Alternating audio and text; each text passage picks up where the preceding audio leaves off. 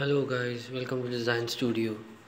So today what we are going to do is it's an architectural board like this. So it's very simple. So let's begin. So initially what we have to do is we have to make a page setup. And uh, we have to whatever the page whatever we are uh, willing to make a3 a4 a2 whatever we need. So after that we are supposed to make a create a background. And as we as we uh, done with the page setup we are supposed to make a give it colors or give a image uh, image background.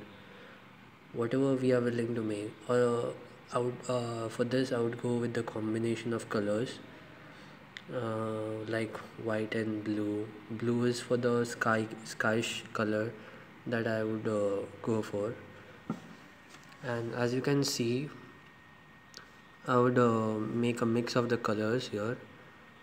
And uh, this is uh, yeah I guess I need blue on the on the top and gray on the bottom. So yes.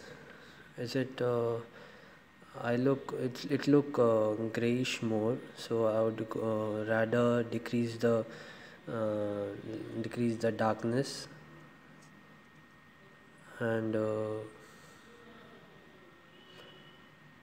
yes it's quite okay. So I'm going to import uh, the PNG files that I'm willing to uh, get into my uh, presentation board.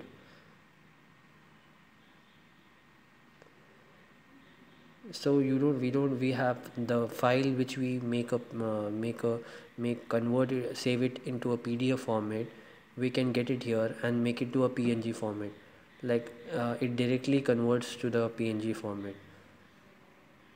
So i have the few floor plans uh, that made and I'm willing to import this image to my drawing. You can just drag it uh, to the file uh, to the presentation file. And yes we are suppose we can we have a option of rescaling it. Make sure you don't rescale the um, don't move the background image. Yes and this how I'm going to upload all the images that I'm willing to upload uh, import it into uh, my presentation board. As you can see there are a lot of images you will need. This is what I'm going to do is a basic presentation board uh, that is for my client. And uh, in this way we can make a more uh, impressive uh, designs uh, of presentation um, I'm bored of presentation. So I would go with the brown and brown and black that whichever suits me that uh, it looks uh, I would I would prefer this for this image. So in this way you can give as much as details of the projects uh, the sections elevations uh, you just have to make a conversion of jpg format and save it and here you get the image we'll be back with more videos on AutoCAD, Archicad uh, and other softwares. So till then take care